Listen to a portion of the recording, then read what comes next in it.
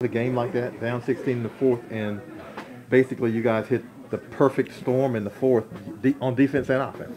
Yeah, it, it brings me back to uh, college at Ohio State when we've come back from a few victories. Um, but it was a special feeling. Uh, you could tell this team's got heart, toughness that uh, DA's kind of instilled in this team, and um, we were just happy we finished the way we did. You know, he said at no point did you guys feel like the game was over.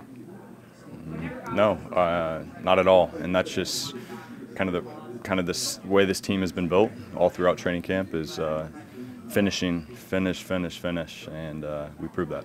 Now I think I would say statistically probably your best NFL game. Um, you seem to be all over the place.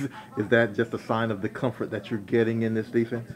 Um, I, I would say comforts, yeah, it's it's there, but I mean, I'm just I was fortunate to get get many opportunities in the game, um, and I just I would say I capitalized off of that is it kind of a byproduct of dealing with a running quarterback that you were able to get those opportunities? I wouldn't necessarily say that. I would just say I was true to my technique and uh, ended up finishing and making a few plays. You know, how pleasing was it, I guess, to finish up the way you guys did defensively? Because I'm obviously overall not the performance that you guys are accustomed to, but you finished it out the right way and the way you liked it.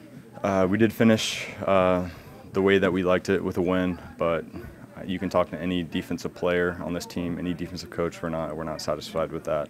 Uh, with the amount of yards they put on the ground, that's that's unacceptable. Mm. The challenge, Dennis, that y'all have to be quote a hell of a lot better this week.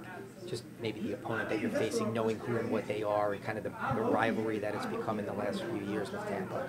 Yeah, what, what, was the question? Just about Dennis that you'll have to be a hell of a lot better. I assume you would agree. Oh yeah, that. yeah. I, I, mean, there's we're fortunate for the win, um, but uh, as a defense and just feeling the vibe from from the players and coaches, we, we can't have a performance like that again, or it's it's not going to end in a W in our minds.